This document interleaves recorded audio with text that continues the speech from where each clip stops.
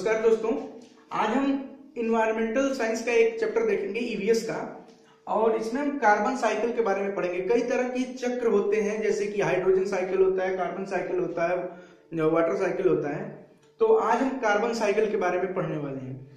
Cycle का मतलब क्या होता है, सबसे पहले समझ लें साइकिल का मतलब होता है कि क्लोज पाथ यानी कि हम जहाँ से चल रहे हैं, अगर चलते चलते कोई भी रास्ता हो ऐसे ऐसे रास्ते हो और यहाँ से हम फिर यहीं पहुँच जाएँ तो इस पूरे प्रोसेस को हम बोलेंगे कि एक साइकिल है। ठीक है? जहाँ से चल रहे हैं, वहीं पहुँच जाए तो वो साइकिल होता है। अब आइए। कार्बन साइकिल के पहले हम जान जाए कार्बन के बारे में। तो देखिए कार्बन के बारे में सबको पता है कार्बन एटमोस्फेयर में तीन प्रकार से पाया जाता है। एटमोस्फेयर में कार्बन तीन तरह से पाया जाता है, तीन स्टेट्स में पाया जाता है। सॉलिड स्टेट लिक्विड स्टेट और गैसेस स्टेट गैसेस स्टेट की बात करें तो कार्बन पाया जाता है कार्बन डाइऑक्साइड के रूप में। कार्बन डाइऑक्साइड एक गैस है, उसमें कार्बन पाया जाता है। तो इस तरह से कह सकते हैं हम कि कार्बन गैसियस फॉर्म में कार्बन डाइऑक्साइड के रूप में होता है। लिक्विड स्टेट में अगर हम बात करें तो वाटर में डिजोल्व होता है कार्बन। डिजोल्व फॉर्म में अगर कार्बन है तो उसको हम बोलेंगे लिक्विड कार्बन। लिक्विड स्टेट का कार्बन। तो वो लिक्विड स्टेट में भी कार्बन मौजूद होता है एटमोस्फेयर में। सॉलिड स्टेट में जो फोजिल्स होते हैं, जीवाश्म होते हैं, और जो भी ऑर्गेनिक मटेरियल्स होते हैं, उसमें कार्बन का कार्बन की मात्रा होती है। चाहे अगर हम बात करें फोजिल्स की बात करें तो उसमें भी होती है, जीवाश्मों में होती है। ये हो गया, हमने देखा कि कार्बन किस तरह से मौजूद है एटमोस्फेयर में।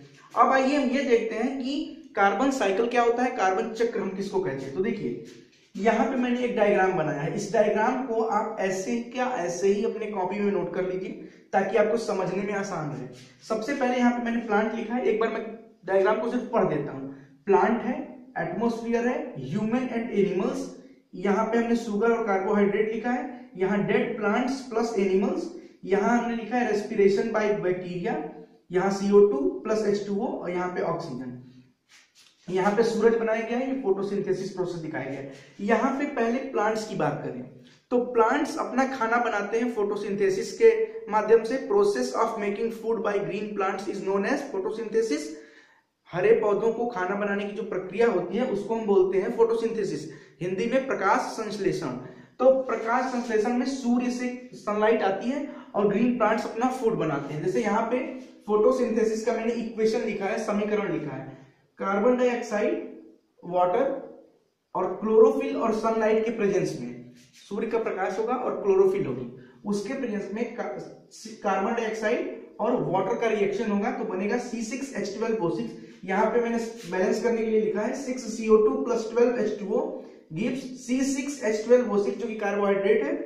Plus six H two O, plus six O two, और सनलाइट और क्लोरोफिल के प्रेजेंस में। तो यहाँ हमने देखा कि कार्बन डाइऑक्साइड और वाटर से मिलकर के खाना बनाते हैं अपना पौधे कार्बोहाइड्रेट के फॉर्म में। कार्बोहाइड्रेट के फॉर्म में यहाँ से सूरज की रोशनी से खाना बनने के बाद कार्बोहाइड्रेट के फॉर्म में प्लांट्स के पास स्टोर हो गया। अब यही प्लांट्स को कौन खाएगा? ह्यूमन बींग्स खाएँगे और एनिमल्स खाएँगे, हम खाएँगे, जानवर खाएँगे। तो ये जो प्लांट्स में कार्बोहाइड्रेट और शुगर है प्लांट में जो कार्बोहाइड्रेट और शुगर है, ये ट्रांसफ़र होगा अब हमारे अंदर। ह्यूमन में सबसे पहले हमने देखा कि एटमोस्फियर से प्लांट्स में आया कार्बन अब प्लांट्स से ये आ रहा है ह्यूमन बींग्स और एनिमल्स में। ठीक है? एक प्रोसेस ये हो गया। अब ह्यूमन बींग्स और एनिमल्स हमसे भी तो कार्बन जाएगा बाहर। CO2 के फॉर्म में ह्यूमन बींग्स और एनिमल्स कार्बन डाइऑक्साइड के फॉर्म में रिलीज़ करेंगे कार्बन को। ये कार्बन डाइऑक्साइड वाटर भी रहेगा एटमोस्फियर में। तो ये कार्बन डाइऑक्साइड वापस से कहा जाएगा? एटमोस्फियर में जाएगा, वायुमंडल में जाएगा। तो इस तरह हमने देखा कि सूरज से आया, यानी कि वायुमंडल से ही कार्बन आता है प्लांट में प्लांट से आता है ह्यूमन बींग्स में और ह्यूमन बींग से फिर एटमोस्फियर में। अगला देखते हैं। ह्यूमन बींग्स या एनिमल्स जब ये मरेंगे तो ये dead plants plus animals plants मरे, यहाँ से प्लांट्स आ गए, यहाँ पे प्लांट्स मरे और यहाँ आए तो ह्यूमन बींग्स तो प्लांट्स और एनिमल्स के मरने के बाद से क्या होता है, उसका डिकम्पोजिशन होगा। डिकम्पोजिशन जब होगा तो डिकम्पोजिशन होगा बैक्टीरियाज के माध्यम से। वहाँ पे कई प्रकार के बैक्टीरियाज रहेंगे फंगस रहेगा। और वो जब डिकम्पोज होगा तो फिर से वो कार्बन वापस से एटमोस्फियर में ही जाएगा। तो यही होता है। हमने, हम चले कहाँ से थे? एटमोस्फियर से हमने कार्बन लिया और फिर हमने उसी कार्बन को अलग अलग प्रोसेसेस के बाद लास्ट में एटमोस्फियर में ही दे दिया। यही तो साइकिल होता है, अभी मैंने बताया। तो ये हो गया कार्बन साइकिल पहला प्रोसेस की सूरज से प्रकाश और क्लोरोफिल प्लांट्स के पास है। इनके सहायता से ये इक्वेशन है फोटोसिंथेसिस का। 6CO2 plus 12 H2O gives C6H12O6 plus 6H2O plus CO2 sunlight और क्लोरोफिल के प्रेजेंस में। तो यहाँ पे अब जब ये पौधे अपना खाना बनाते हैं, एक बार रिवाइज कर लेते हैं एक मिनट में। पौधे अपना खाना बनाते हैं तो पौधे का खाना जब बन जाता है तो वो कार्बोहाइड्रेट के फॉर्म में स्टोर हो गया प्लांट्स में। अब उस प्लांट्स को कंज्यूम करेगा ह्यूमन बींग्स या एनिमल्स या तो हम खाएँगे या जानवर खाएगा उस पौधे को।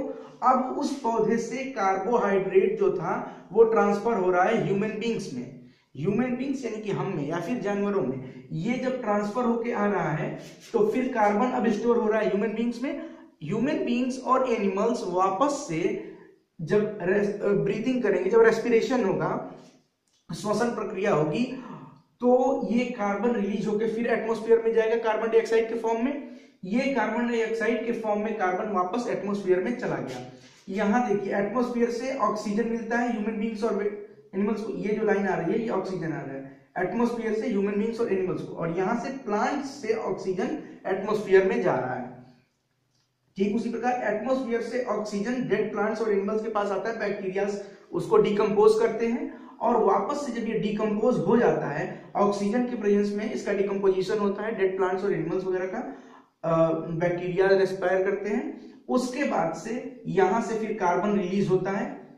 जो आदमी या फिर जानवर मर गया है, जब डिकम्पोज होगा तो कार्बन रिलीज़ होगी। वो कार्बन वापस से देखिए CO two plus H two atmosphere में चला जाता है। तो इस प्रकार हमने देखा कि एटमोस्फियर से ही कार्बन को ले, लेने के बाद उसको अन्य फॉर्म में चेंज किया, हमने कार्बोहाइड्रेट्स में शुगर में चेंज किया और उसको वापस कई प्रोसेसेस से गुजारने के बाद वापस हम एटमोस्फियर को ही दे दे रहे हैं। इसी को हम बोलते हैं कार्बन साइकिल जिसमें कि कार्बन इसको हिंदी में कार्बन चक्र बोलते हैं हम।